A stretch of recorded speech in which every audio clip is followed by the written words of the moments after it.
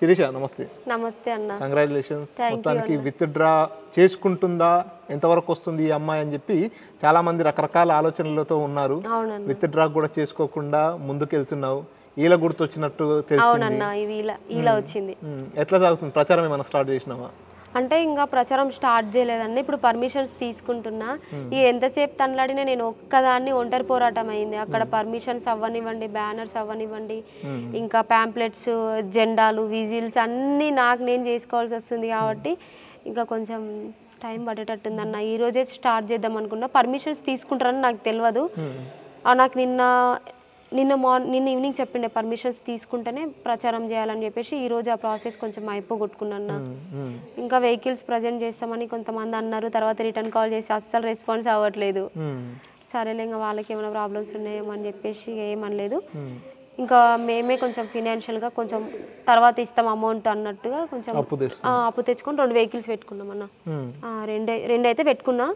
ఇంకా రెండు ఫైనల్ వరకు కన్ఫర్మ్ కాకపోయినా ఒకటైతే తిప్పుతాం ఇంకా. విజిల్ గుర్తు వచ్చిందిగా విజిల్స్ ఏమన్నా కొన్నావా? అంటే ఆ విజిల్ గుర్తుని ప్రజల్లోకి ఎట్లా తీసుకెళ్దాం అనుకున్నావు? అంటే విజిల్స్ కొంటా అన్న. మామూలుగా విజిల్స్ కొని ప్రతి ఒక్కరికి విజిల్ గుర్తుకేయండి అని చెప్పేసి చూపిస్తా. ప్యాంప్లెట్స్ కూడా అందులో మేనిఫెస్టో ఒక సైడ్ నా ఫోటో విజిల్ సింబల్ ఇస్తున్నా. మేనిఫెస్టో రెడీ అయిందా? రెడీ పెట్టినావు మేనిఫెస్టో అది ప్యాంప్లెట్లో చూసి సర్ప్రైజ్ అన్న ఇంకా. ఇంత తెలివి ఉందా అన్నట్టుగా అనుకోవాలి. ఒకసారి మా కోసం రివీల్ చేయాలి అంటే నిరుపేద కుటుంబాలకు మాత్రమే ఇంట్లో వచ్చేలా చూస్తున్నా. ఇంకా ఏంటి అంటే ఒక పెద్ద హాస్పిటల్ ఇక్కడ. ఇంకా ఎట్లా అంటే అన్ని కాన్స్టిట్యున్సీ వాళ్ళ అబ్బాయి ఈడు పోతే బతుకుతాం రా బాబు అన్నట్టుగా ఒక హాస్పిటల్. ప్రతి ఎవ్రీ ఇయర్ కోచింగ్స్. కోచింగ్స్ అంటే నోటిఫికేషన్స్ ఎవ్రీ ఇయర్ ఇక్కడే. ఎవ్రీ ఇయర్ ఈ ఇయర్లో ఒక హండ్రెడ్ పోస్టులు కాలు ఉంటే ఈ ఇయరే కంప్లీట్ చేయాలి. అది ఒకటి.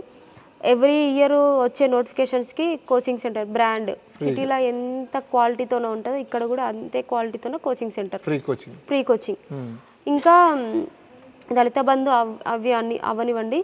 ఇప్పుడు చాలా మందికి టీచర్స్ వాళ్ళు పెద్ద పెద్ద వాళ్ళకే వస్తున్నాయి అన్న ఉమ్, అవి కాకుండా ఎవరైతే పూర్ వాళ్ళు ఉంటారో వాళ్ళకి మాత్రమే దళిత బంధు వచ్చేలా చేస్తున్నా.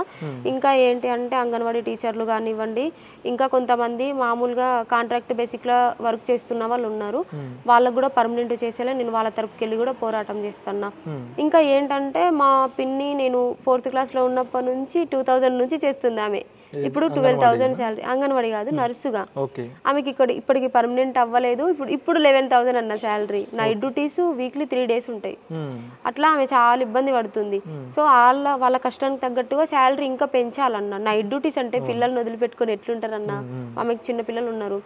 సో వాళ్ళకు కూడా నేను శాలరీ పెంచేలా పర్మనెంట్ చేసేలా వాళ్ళ తరపుకెళ్ళి ఇది జిహెచ్ఎంసీ వాళ్ళు ఉన్నారు కదన్న మొన్న ధర్నా చేసిరని శాలరీలు కట్ చేసిరు. ఎంత దారుణం అన్న అసలు అంగన్వాడీ టీచర్లు మొన్న ధర్నాలు చేసిరని శాలరీలు ఇప్పటికే లేదు ఫ్యామిలీలు ఎట్లా గడుస్తాయన్న? మనమే కూలి పోతే ఒక పూట కూలి లేట్ ఇస్తేనే ఇల్లు గడుస్తుంది ఇల్లు గడుస్తుంది ఎమ్మటి పడతాం. అట్లాంటిది శాలరీ లేట్ చేస్తుంది ఇప్పుడు మీరు బయట కనుక్కోండి.